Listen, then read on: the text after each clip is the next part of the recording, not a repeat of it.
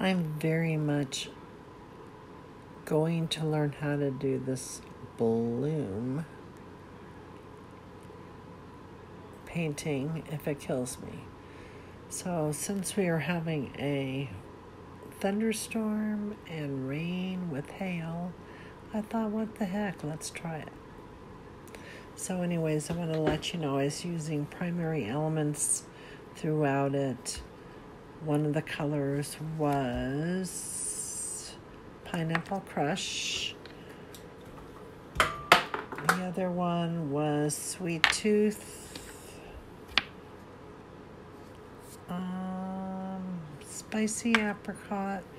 I did use some um, Bling It Interference Blue and Nebulous Star. I think I just dropped one. Maybe not. And um, I used a Cell Activator in white, and I also used a Cell Activator in Payne's Gray. And with that, um, if you like it, please subscribe if you haven't. It helps me out a lot. And um, hit the like button and uh, see what happens here. I really like how this one turned out. We'll see how it dries. So, with that, I'll let you listen to some music.